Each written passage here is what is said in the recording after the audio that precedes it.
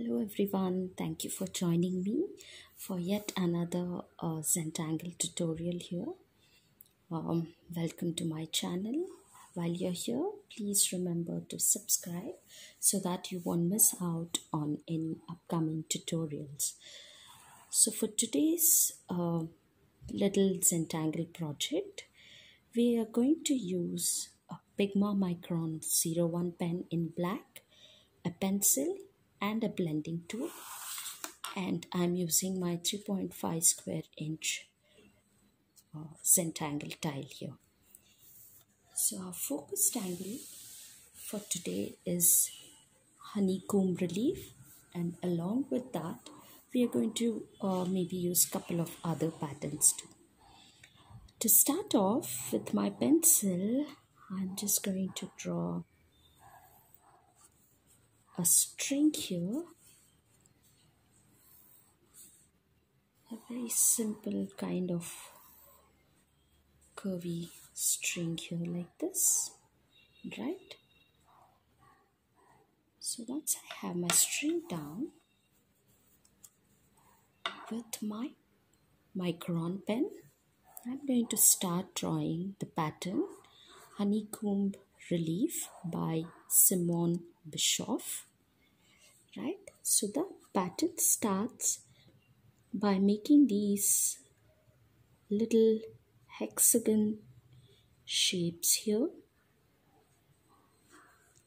So just like this i'm starting from the center so that um, you know i have enough space to go around. And then once you have one of your hexagons down we are just going to build from there from each side again I'm going to consider another hexagon like this and then two sides of another hexagon I have here. So just like this you're going to start with the hexagon and start you know, building from there kind of like your um, the honey or the beehive.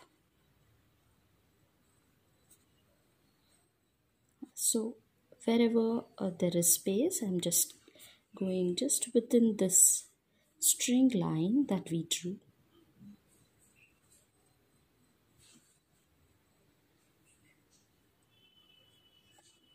Slowly taking your time.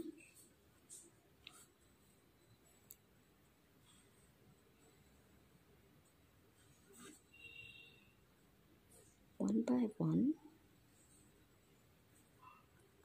We're going to fill up this entire space with this hexagon shape. So the hexagon grid.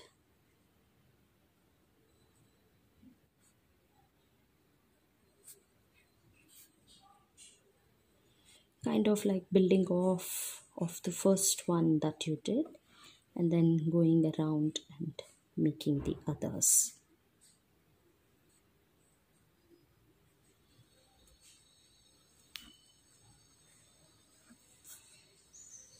all right.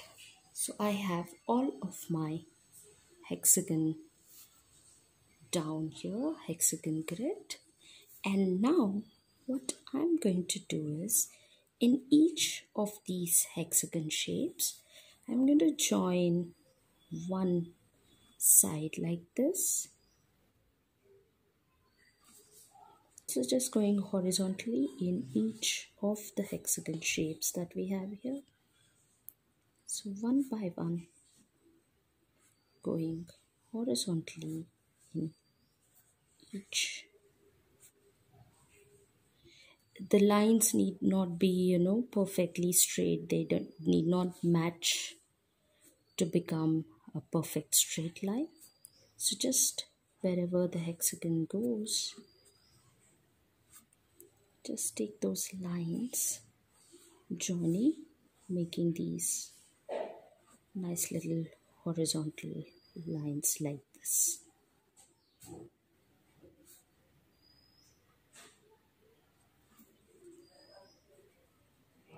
Just like this.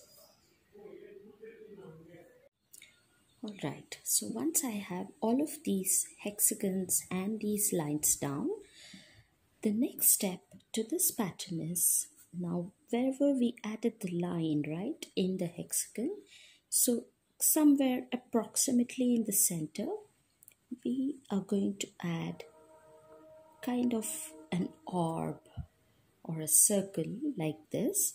So going one line at a time so just add whatever space you have just go one by one and add these kind of little orbs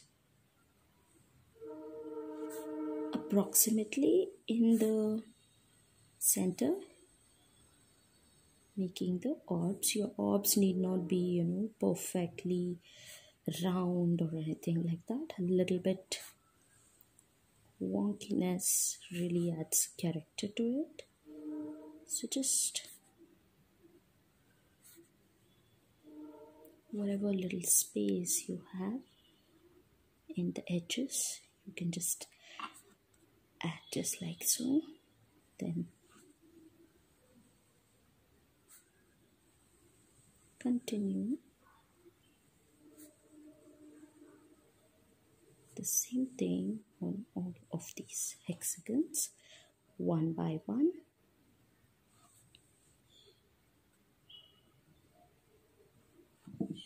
Alright, so now I have all of my orbs or the round shapes in the center of the hexagons down.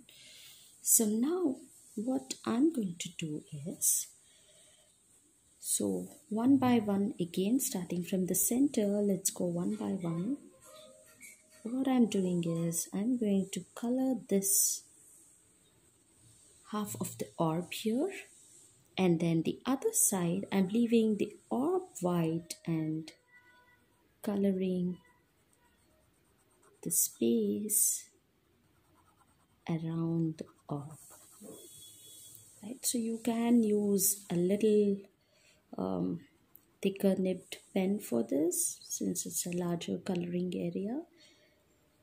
So this way I'm going to alternate between the hexagons here. So now that this is black, this will again be white and and the orb this part will be black and this is going to be black again so just like your checkerboard where we color the alternate squares black, right? So here, whatever space, whatever shape we have, just um, the, for example here, now this is white, so this is going to be black. So this way you're going to color the whole of these hexagons and orbs here.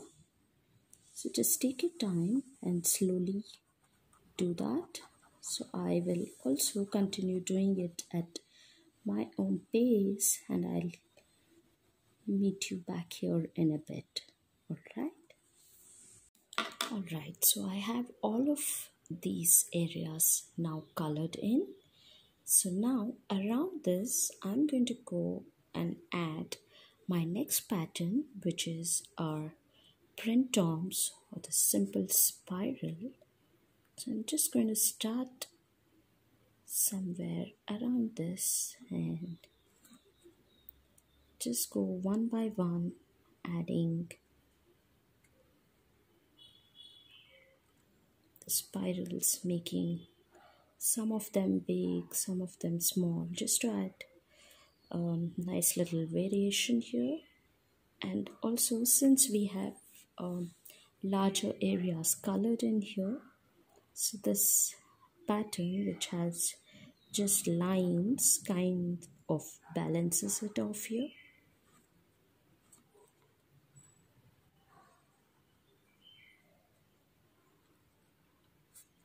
so just go around your whole tile you know turn taking time to turning it and adding the spirals one by one so I'm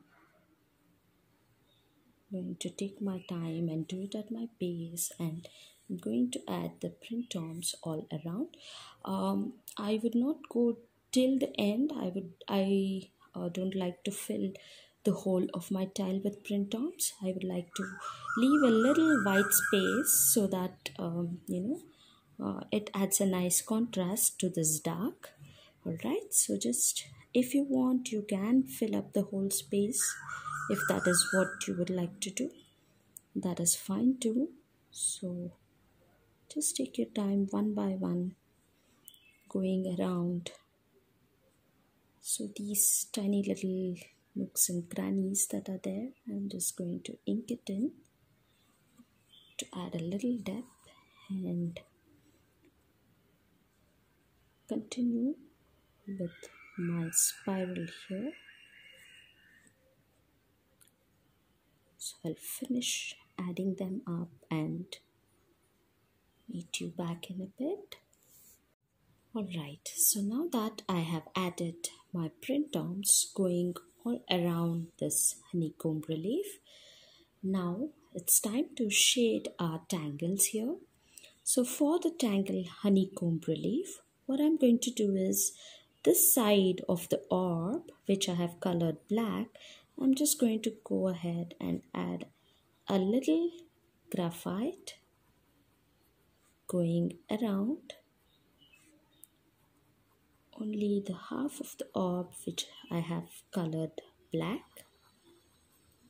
So there one by one I'm going to add all my graphite here.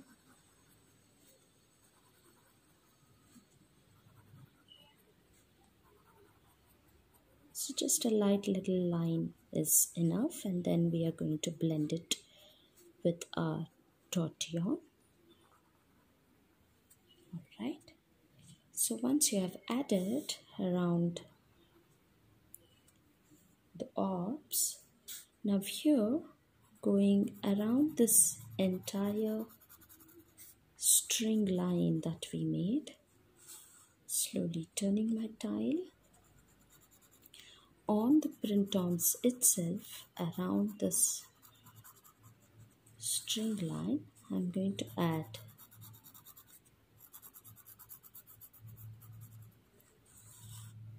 My pencil here. So you can add as light as you want.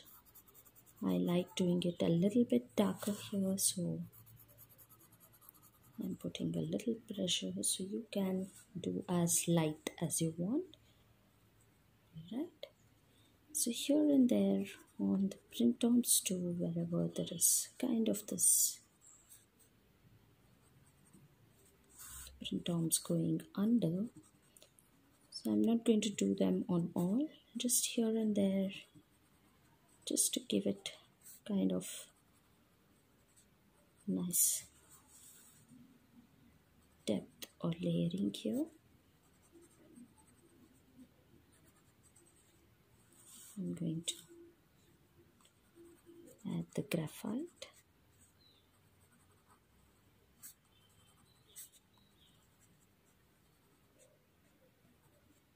Alright so once I have my graphite down now with my blending tool I'm just going to lightly smoothen all of the pencil marks that we made. First around these orbs in the honeycomb relief pattern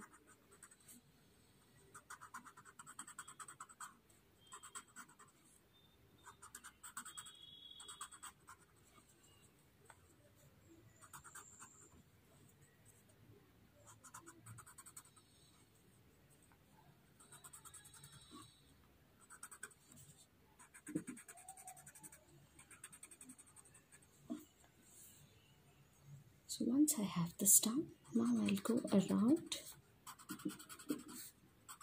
this entire pattern.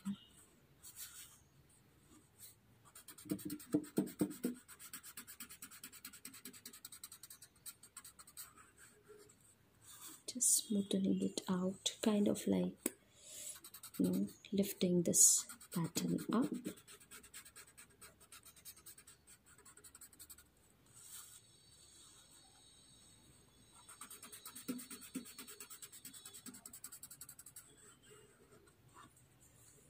this and then on the Printemps again with very light little circular movement here. Just adding smoothing out the graphite lines all right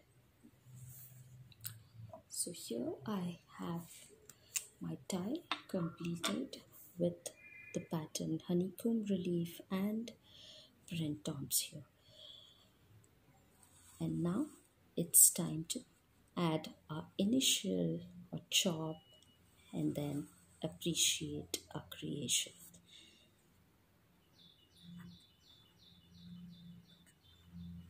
Just add your initials or your signature anywhere on the tie so here's our little Zentangle mindful moment project for today. I hope you enjoyed uh, creating the style along with me. Please do share your creations and tag me so that I can look at your uh, works and do remember to subscribe uh, and share this channel with your friends who'd be interested in learning about Zentangle. And you can even join my Zentangle group Bangalore Tanglers on Facebook and share your creations there too right? So thank you again and I'll be seeing you soon with yet another Zentangle tutorial. Bye